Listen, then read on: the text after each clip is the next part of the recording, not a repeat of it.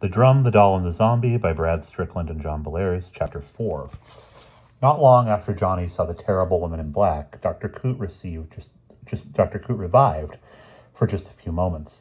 He clutched at the professor's arm and said hoarsely, The spirit sleeps under running water. The Loas rest at, at the bottoms of rivers for a whole year, and they can harm no one, and no one can harm them. Dr. Coote gave a ghastly laugh. Ha! I fooled her, or else she would have killed me by now. Cut the cord, Roderick. For God's sakes, find the doll, and don't let them cut your hair. It's voodoo. It's voodoo, I tell you. The serpent, and the baron, and the walking dead. Johnny, standing ignored at the foot of the bed, shivered to hear such babbling. A heavy, gray-haired doctor came in and gave Dr. Coote an injection. Little by little, the old man calmed down and fell into a deep sleep. The doctor ordered the professor and Johnny out of the room, and for once the professor gave up without much of a protest. After about ten or fifteen minutes, the doctor found them in the waiting room. "He will sleep all right now," he said. "So you two must might as well go home. Are you family by any chance?" "No, friends," said Professor Childermass, and he explained that Dr. Coote had no close family nearby. He added, he, had, ah, he added, Johnny and I will be staying in Charlie's house for the next two nights. I have a spare key. You can reach us there if you need to get in touch. The doctor nodded, and the professor and Johnny left the hospital. By now, night had fallen, and with it had come a distinct chill. They hurried to the Pontiac, and the professor screeched the tires as he pulled out of the hospital parking lot. As soon as the engine warms up, I'll switch on the heater, he said. It's about ten miles to Charlie's house. Professor, I think I saw the woman who scared Dr. Coote, Johnny said. He described the haggy old woman who had the haggy old woman he had glimpsed at the end of the hall. Professor Childermass snorted. Probably a cleaning lady from your description. I have noticed that hospitals are particularly apt to hire the most ins- insanitary looking individuals for cleaning and food preparation. I wouldn't worry about witches if I were you. It's more likely that poor Charlie has just had a nervous collapse from an unhealthy preoccupation with that dreaded dr- with that dreaded drum. If I can find the wretched thing, I shall take a hatchet to it. They drove toward Durham, toward Durham on Route 4, past the barnyard smell of the university dairy, through the university itself, and at last into the driveway of Dr. Coote's old Victorian house on Pierce Street. It was two stories tall, with a weathered cl- with weathered clapboard walls, a mansard roof with three dormers, and a two-car garage. Johnny opened the garage door, and the professor managed to maneuver the Pontiac into the garage without knocking any major parts off the car or the house or Dr. Coote's old blue Chevrolet. A locked door led from the garage into the house, but since the professor had only a key to the front door, they closed the garage and went to the front of the house. For a few moments, the professor fumbled with the key and swore under his breath because it was too dark for him to see the keyhole. Then he turned the key in the lock and pushed the door open. He felt around on the wall for a light switch and clicked it on. Dr. Coote had lived alone for years. He was a fussy old man who liked everything just so and the house normally was neat and orderly. Normally, but not now. Johnny gasped. The hall closet stood open, and coats, hats, and umbrellas lay scattered on the floor. Professor Childermass cursed and strode into the chilly house. Someone had gone through every room, pulling things down, strewing books and photographs of Dr. Coote's field trips all over the house. What happened? Johnny asked. Obviously, vandals have broken in, growled the old man. Professor, do you think they might have been, well, looking for something like the drum. The professor glared at Johnny. Nonsense. It was probably just a gang of young hoodlums ransacking the place. Let me get the furnace started so we won't freeze, and then we'll see about setting the place to this place to rights. The furnace was in the basement. The old house had once been heated by coal, but like many other people, Dr. Coote had converted his furnace to burn oil. Professor Childermass checked to make sure it had plenty of fuel, then fired it up. As soon as the furnace was going, he prowled through the basement which was full of deep black shadows cast by a single bare bulb. Aha! he said, pausing before what had once been the coal bin, just as I thought.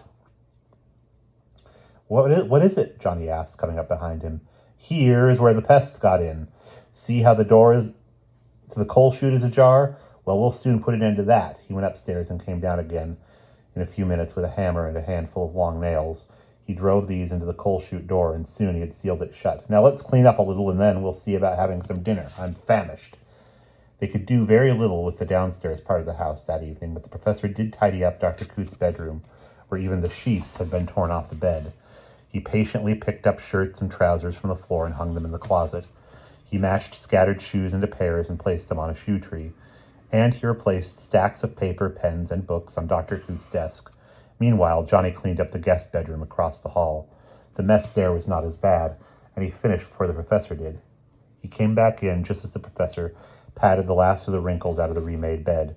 Johnny heard a trickle of water. Someone in the bathroom? he asked nervously.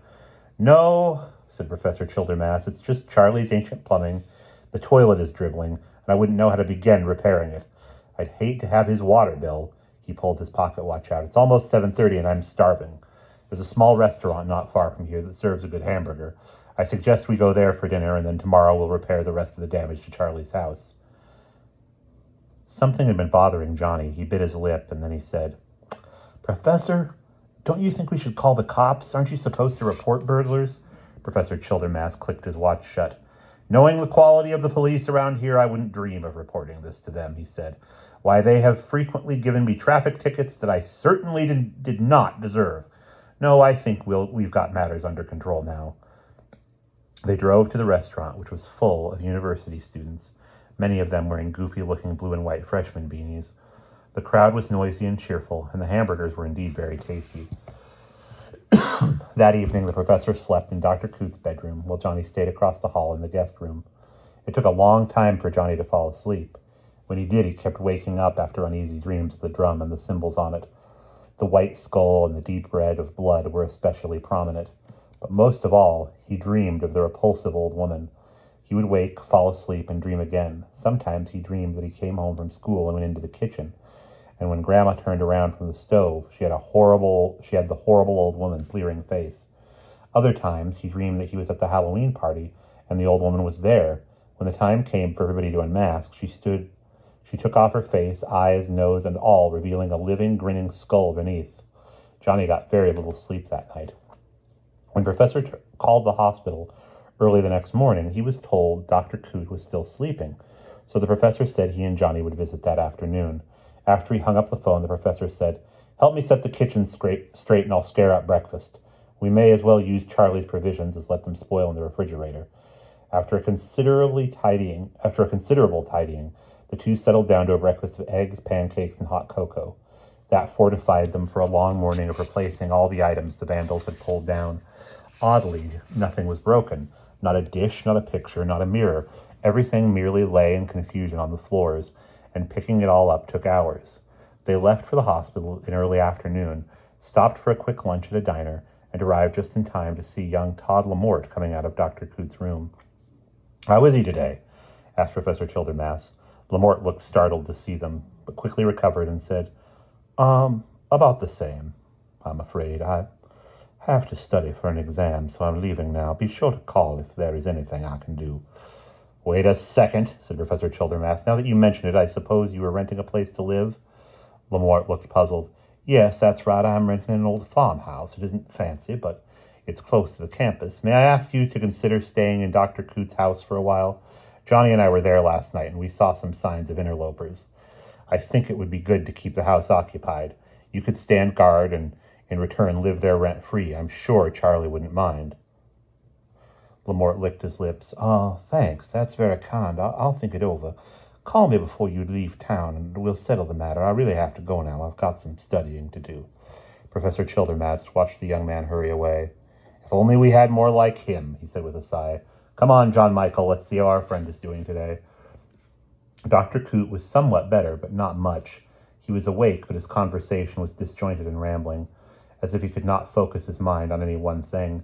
He muttered about the priest of the midnight blood, about someone trying to steal his soul, about other frightening matters. To Johnny it all made very little sense. Every now and then the old man would give that terrible chuckle and rave about a running stream and a trapping and trapping a spirit. No communication there, you know. Uh, no communication there, you know, he said with a wink at them. Keep an invisible in the dark long enough and it turns on its master. The tyrant must fall and the Baron defeats even the proudest of tyrants. The drum, the drum, he was a rebel, you know, in New Orleans. She did him, she did him in. The crone who flies in the night, lost, lost. And he would sob in a heartbroken way. Johnny felt terrible. The same doctor they had seen the night before looked in around 4.30. Dr. Coote lay semi-conscious and delirious, mumbling words too softly for anyone to make out. No improvement since yesterday, said the doctor with a sigh. He appeared to be honestly concerned. He had a square jaw, close-cut gray hair, and a brushy gray mustache. He stroked his mustache as he nodded at Johnny and the professor.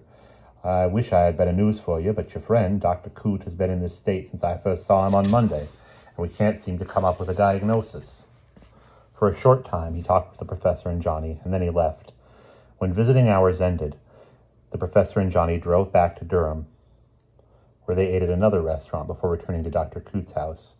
Professor Childermass took the lead in going inside, as if he half expected more intruders. None materialized, and he and Johnny spent some time in the living room watching westerns on television. They decided to turn in early. Both were in bed by 9:30. Exhausted from the excitement of the previous night and the cleaning and picking up of the day, Johnny fell asleep almost at once. This time he did not have any terrible dreams, and he slept soundly until well past three o'clock in the morning. Suddenly, though, he woke up, sure he heard a noise. He lay awake in bed, straining his ears. He could hear the house creaking the way all old houses do. He could even hear the faraway tinkle of water from the leaky toilet in the bathroom across the hall. But he could not hear anything that sounded odd or threatening. Still, he thought he had better check it out. He got out of bed, put on his glasses and slippers, and pulled his apple green terry cloth bathrobe around him. He crept softly downstairs, feeling nervous. Johnny was a timid and cautious boy, and normally he would never venture into danger. However, he had spent the night at Dr. Coote's house a couple of times before, and it was familiar to him. Besides, he had not heard anything that sounded dangerous. He patrolled the washroom, kitchen, study, living room, and dining room. Nothing there. Doors all locked tight. He was about to go upstairs again when he realized he had not checked the cellar door to the cellar door in the kitchen. He went there and turned the knob of the cellar door. To his surprise, it swung, the door swung open though he was almost certain that the professor had locked it after lighting the furnace. Johnny hesitated to go inside the cellar because he remembered that the only light down there was a bare hanging bulb. He did not want to stumble around in the dark trying to find it. Just as he decided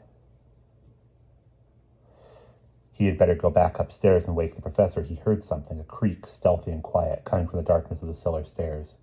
Johnny backed away. A dark figure moved. in the blackness inside the cellar door. Johnny opened his mouth to shout a warning. Someone lurched into the room, and the warning froze in Johnny, like ice in Johnny's throat. A man had staggered out of the cellar. His hair was black. His face was white and bloodless, as if made of marble. His cheeks were sunken, his lips purple and pulled back from yellow teeth, but his eyes, they were the worst of all. They were filmed and blind, the cloudy color of light blue chalk. Rimmed with fine black dirt, the eyes stared sightlessly straight ahead. He wore a black suit, and he thrust his arms before him like someone sleepwalking. The appearance of anyone from that dark cellar would have shocked Johnny, but this man terrified him. This man was dead. Johnny shambled, for, or the figure shambled forward, reaching for Johnny. Johnny finally screamed and turned to run. Too late! He felt a dead hand close on the back of his robe. The zombie held Johnny in an unearthly grip. And that is the end of chapter four.